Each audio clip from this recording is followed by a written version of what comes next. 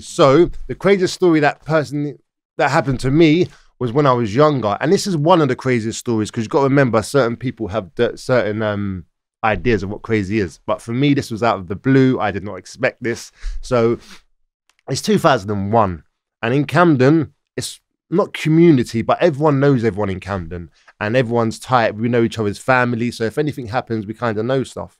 But what happened was Somalians were coming over at the time. Like a lot of them were coming over, and we didn't really know them, but they were coming over to like in, in London in general.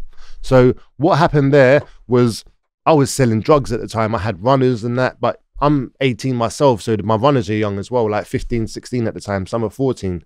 And then one of them got robbed by this guy, and we didn't know who he was, just a black guy. And then a couple others got robbed, and now I'm like, oh my god! So the Somalians were robbing the workers. Okay, so I caught a couple of them. I messed them up. Him up like I, I really, really went in on him. I smashed him up, like I battered him, but I let the guy know who I was because I'm Daniel Lazar. I'm in Camden. This is my area. This is what I do. Yeah. So the guy had heard the name, but I'd done the job on him, you know. And then um, so one day I'm walking down the street. I'm with my girlfriend. I'm walking my girlfriend's friend home, being a gentleman, trying to do the right thing, impress my girlfriend. Anyway, so I walk her home all the way up to Belsize, and then we're walking back. Me and my girlfriend. My girlfriend was a pretty girl, mixed race, blue eyes. So we're walking back. It's on Ferdinand Street, just by my mum's, and um, walking, and there's three guys coming towards me, black Somalian guys.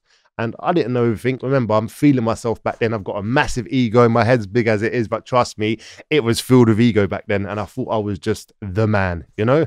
So three guys come towards me. They're looking at my pretty girlfriend. I'm like, hmm, yeah, I'm not feeling this energy. I'm like, what are you looking at?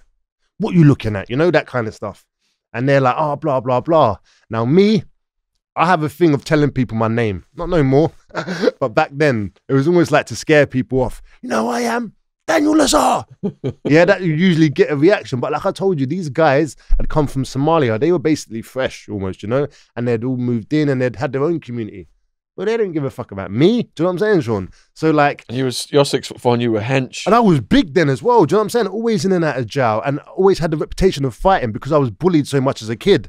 And all that pent up frustration, it just it, it just released from me. So anyway, I'm going mad at these guys, and then now there's an argument. Now I don't have a knife on me then. I hadn't stabbed anyone by then. I, I hadn't been stabbed by then. It was just fighting. We were just fighting, you know, almost like just finishing school and you start to fight and stuff. And um, so I'm like, my name's Daniel Lazar, blah blah blah. Now I've just beaten up a couple of Somalians a couple weeks, maybe a week before, yeah, and they're all in a group, so they've known the name now. Now they're all looking at each other, yeah, and like the energy's got a bit more serious now. And then they're just talking. All of a sudden, pull out a big Rambo knife. Honestly, it was the size of his arm. I just see it, and he just went whack, hit me straight there, and everything just stopped. My whole time just stopped. It was crazy. Fractured my um skull, severed two arteries, and I'm standing there now, and uh, my head's wobbling. I was with my friend. My friend actually run off to pretend like he had a. I don't even know what he did, but he run off anyway. Yeah. so now I'm left there. My head, my head's cracked open, and the smiling guys have run off, and I'm just standing there. The girl's screaming, and um, claret was pouring out of my head and everything, and um, yeah, almost died. Um, luckily, I was right by my house. People called an ambulance, and within half an hour of the incident, I was in the hospital and um, just getting seen to in that. But yeah, that was a very, very traumatic time in my life, you know.